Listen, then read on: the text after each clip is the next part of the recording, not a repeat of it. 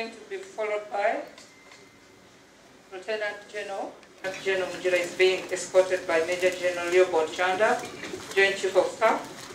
I can see his, they are being joined by our Commissar Commissariat Honorable Major General Ken and Brigadier General Matthew Buremi, our Chief of Training. and your family, senior citizen, the Honorable Sam Kutesa, our boss in the Ministry of Defense and Veteran Affairs, Madame Rosette Byengoma, the generals who are here, and all of you, dear mourners. Let me first uh, take this opportunity to thank all of you who have turned up this morning for this service as we eulogize our national hero, freedom fighter, uh, a liberator, and indeed, as I said yesterday, an icon of the liberation struggles in this country. You cannot talk about liberation struggles in this country without mentioning the name of General Pecos Kutesa. In other words, his name is synonymous with all these struggles. I'm here to represent the Chief of Defense Forces, uh, General Wilson Mbadi, who has not been able to make it because he had other commitments. So I've been requested to uh, step in. This is a sad day indeed uh, for this country. For the UPDF, we have uh, not had a very good time. In this last uh, two weeks, we have lost three generals. The other day, uh, we lost uh, General Rabantu, then General Pecos, and this morning we lost uh, General Paul Lokech, who has been the Deputy Inspector General of Police. So these are really sad times for the UPDF. I'm here to read the message as presented to me, and uh, I'm going to read it verbatim uh, because I'm not supposed to change anything. It's a message from the, from the Chief of Defense Forces.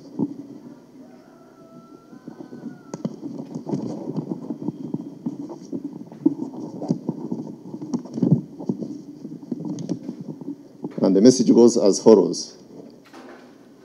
Uh, the family of the late RO 00026, Lieutenant General Pecos Onesimus Kutesa, officers and men of the UPDF and fellow mourners. Condolence message. On behalf of officers and militants of UPDF and on my own behalf, Please accept our heartfelt condolences at this moment of grief following the demise of our beloved General Officer, your son, Lieutenant General retired Pecos Onesimus Kutesa, which occurred on the 17th of August 2021 at Max Circuit Hospital, India. The cause of death is natural. The UPDF family extends its sympathy and condolences to the departed comrade's family, relatives, and friends. Lieutenant General Pecos Onesimus Kutesa joined the Defense Forces in 1979. He diligently served his country and NRA, UPDF specifically in both command and staff positions with professionalism, dedication, passion, and excellent work ethics. He was a reliable nationalist and Pan Africanist. The departed Lieutenant General uh, has therefore been instrumental in the transformation of NRA stroke UPDF and the restoration of peace and security in the country. The UPDF is saddened by the loss of such a senior and professional cadre whose input was still much needed.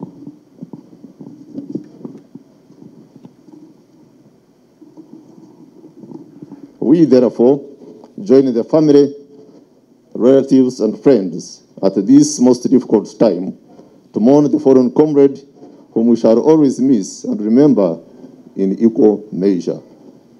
Military history. Lieutenant General Pecos Onesimus Kutesa joined FRONASA for the liberation struggle against Idi Amin in 1979 from Masaka Secondary School upon completion of East African Advanced Certificate of Advanced School of Education. He fought in the 1979 Liberation War and later, in June 1979, proceeded to Monduli in Arusha, Tanzania to train as an officer cadet with over 400 other Ugandans. On the 31st of March 1981, he fled the UNRA from Nakasongola to join the NRA liberation struggle in Luweero bushes, where in the early days of the struggle, he was appointed platoon commander and eventually the officer commanding Secoy, which was later merged with other mobile companies to form the NRA Mobile Brigade, famous for major battles under General retired Caleb Akandwanaho, aka Salim Saleh. He is remembered for his various roles played in the liberation struggle, among which was the attack of Masindi Barracks on the 20th of February 1984, when he was the commanding officer of the 1st Battalion with the late Colonel Stanley Muhangi, commanding the 3rd Battalion, and Major General Stephen Kashaka, who is here, commanding the 5th Battalion, and Major General Mateo Kyaligonza, commanding the Black Bombers. By the time of his demise, he had just been honorably retired from active service a couple, a couple of weeks ago. On appointments held, he was an instructor in Nakasongola Recruit Training School from 1980 to 81. He later served as ADC, the chairman of the High Command. He acted as a platoon commander on the attack of UNRA detached at Kakiri on the 4th of April 1981. He was a commanding officer of the 1st Battalion, Data Brigade Commander, 157 Brigade, that was between 1987 and 1988. He was a division commander, 4th Division, between 1988 and 1989. Later served as the chief of training and recruitment between 1988 and 1990. He served as the chief of doctrine development and synthesization 2009 2021 and also served as a member of parliament representing the Uganda People's Defense Forces in the 10th parliament.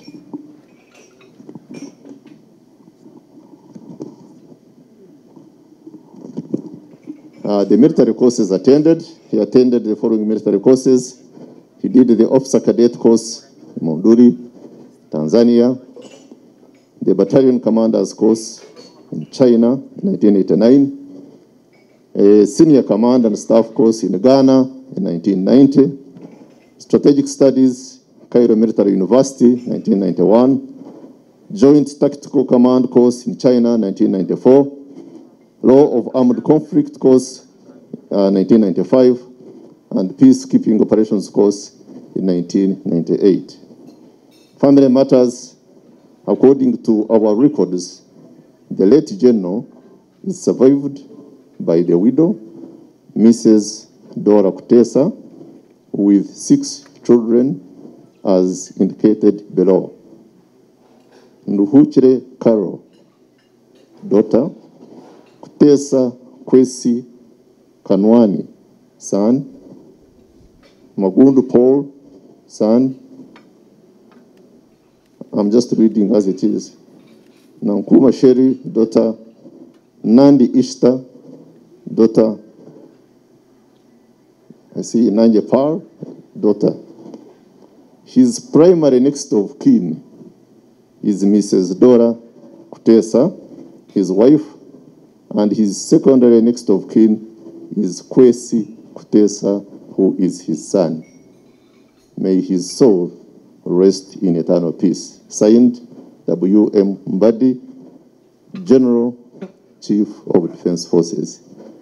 So that is uh, the message from the Chief of Defense Forces, General Mbadi. Very, very senior to us as far as the uh, service in the forces is concerned. But uh, we are friends in a way. He always looked out for me. I remember when I was the commander of the Armored Brigade based in Masaka, and he would be going to the Riakaikura. He would never pass Masaka without checking on me. And some of you who follow events on the national functions, I'm always by his side. Even in these meetings, whether it is High Command, whether it is Army Council, somehow we set up a relationship that all the time we sit together, and you know, he had a, a very incredible brain power. He had the capacity to follow the proceedings in a meeting, at the same time read a book, at the same time write. So I would ask him, how do you do all those things? You think he's reading, you see him trying to respond to the point that has been raised. He was highly intellectual, he was deeply philosophical. In fact, some people wouldn't even understand him. If you don't have the brains to match his, he would try to explain to you something, and if you, you really don't get it, he was deeply, deeply. Uh, somebody said that I'm standing here on behalf of government. Yes, I wouldn't say no in a way, but I'm representing the Minister of Defense, and I want to first start by apologizing to Dora and your family on behalf of my ministers for, for not being here with you today. It's not that it was intentional, but uh, it's because they are out on duty. Uh, the minister himself is in uh, Arusha, his colleague is in Nairobi, and uh, their other colleague is in West Nile. So I bring their apologies. They would have loved to be here with you, and indeed, uh, they are with you in spirit. Uh, I am standing here on behalf of Minister of Defense in particular, uh, maybe talking on behalf of uh, uh, uh, government. Uh, the UPDF has already talked about uh, uh, the work that uh, General Kutesa has done. There is a whole history about him, and it's already been explained to all of you. And indeed, government has lost a very, very great person in the names of uh, General Kutesa. I have uh, a written speech uh, from the ministry because uh, all the ministry officials would have loved to be here, but uh, the announcement was about keeping the SOPs, and indeed, some of the staff were not able to come because of that, because we thought that there was going to be limited numbers. But all the same, all the staff, the entire Ministry of Defense and Veteran Affairs, back there, they are condoling you, uh, Dora, and uh, your family. So I have uh, a written speech here to the family of late Lieutenant General retired Pecos Kutesa, relatives, friends, and in-laws. Condolence message. It is with deep regret that I received the news about the untimely death of the late Lieutenant General retired Pecos Kutesa. On behalf of the Minister of Defense and Veteran Affairs, the Uganda People's Defense Forces, the entire staff, and on my own behalf, I express our deep condolences to the family for this tragic loss. I wish to pay tribute to the General, General Pecos Kutesa's brilliant contribution in the service of our country during the course of his career that spanned over decades. The late General Pecos rose through the ranks and appointments to the rank of Lieutenant General, the rank at which he retired last month of July 2021. And indeed, this is very surprising. It's like uh, he did all the work, and when he retired, it was like he was saying bye to the service and to the country. So you can imagine he retired last month and he died hardly a month after. General Kutesa was a conscientious leader who will be dearly missed by all of us as a friend, but at the same time as a fighter who ensured that peace in the country was restored. He was an open-minded, responsive, and affable general officer who had an excellent working relationship with others. I join you in mourning this tragic loss and pray that the legacy of his heroic service lives on in honor of his memory. The Ministry of Defense and Veteran Affairs firmly stands by the bereaved family and we pray that his soul rests in eternal peace. And maybe to add to this written speech, I also want to thank Dora. Uh, General Kutesa was my friend because I used to talk to him. I remember one time we were going to Sorot, to Karamoja actually, and we stayed in Soroti Hotel. And in the morning he came with, with a heap of drugs that he was supposed to take that morning. So I looked at him and he said, do you know what? I normally take a basket full of, uh, you know, drugs. I said, we thank God that you are still alive, General Kutesa. And then I asked him, but General Kutesa, do you ever get on your knees and thank Dora for what he did for you? And then he laughed. I said, Dora is like Jesus Christ to you because for her she went on the cross for you and she gave her life so that you live. So thank you, Dora, for giving your life to your husband so that he lives. And indeed, like uh, the Archbishop said, you gave him an extra 12 years. If you hadn't given in your body to him, I don't think he would have lived up to today. You've been there for him through thick and thin. In Nairobi, I was really feeling sorry for you when you went and he was, you know, very bad off. And, uh, you know, that, that rescue from Nairobi to India, and you were there on the plane with him, with your children. It was too much for you. But thank you for being a faithful wife to your husband. Thank you for seeing him through thick and thin up to the end of the time that uh, he left you.